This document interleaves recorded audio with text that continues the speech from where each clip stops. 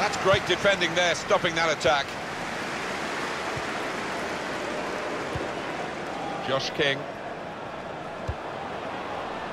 Good position, they've worked this attack very well into a quite a dangerous position now.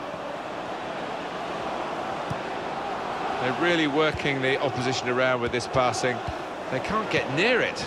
No, they can't. They're having to do a lot of chasing. They're just wearing them out. The shot's on! And he scores!